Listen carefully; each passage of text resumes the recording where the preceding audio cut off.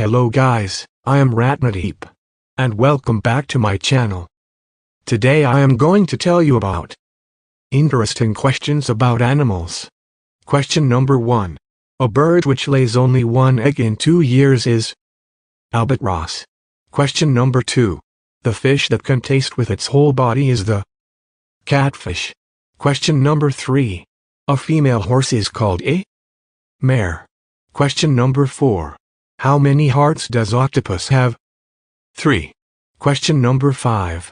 How long can a snail sleep? 3 years.